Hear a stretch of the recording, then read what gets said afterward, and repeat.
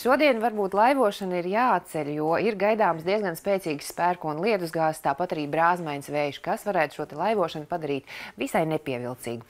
Par nokrišņiem runājot, tad rīta agrumā stiprākie nokrišņi vispirms skars kurzemi. Dienas laikā nokrišņu mākoņi virzīsies pāri Latvijai un pusdienas laikā ir gaidāms stiprs lietus valsts centrālajā daļā, tāpat arī vietām kurzemē un vidzemē savukārt vakarpusē. Lietus sasniegs arī sēliju un vietām vidzemi.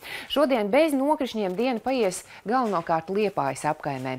Taču dienas laikā, kad sāksies pērkona negais, ir gaidāms diezgan intensīvs pērkona lietusgāzes, tāpat iespējama krusa un pūtīs brāzmains vējš. Negais laikā vēja brāzmas varētu sasniegt līdz pat 22 metrus sekundē. Gaisa temperatūra dienā svārstīsies no plus 18 līdz plus 21 grādam, taču lietus laikā un arī pēc negaisa gaisa temperatūra pazemināsies un gaisa atdzisīs līdz plus 10, plus 15 grādiem.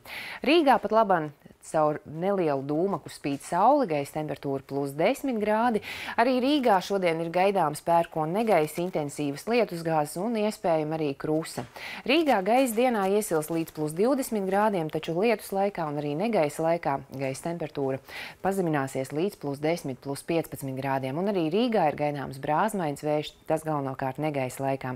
Par laikapstākļiem, kas gaidām brīvdienās, tad sestdiena gan solās būt šīs nedēļas siltākā diena, kad vietām gaisa temperatūra paaugstināsies valsts dienvidos līdz plus 25, plus 26 grādiem. Citiet valstī no plus 20 līdz plus 23 grādiem.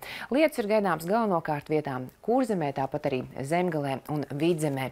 Naktī uz sestdienu pārsvarā bez nokrišņiem un gaisa temperatūra būs robežās no plus 8 līdz plus 13 grādiem. Svētdien dienā saule mīsies ar mākoņiem un pavisam neliels lietus ir gaidāms.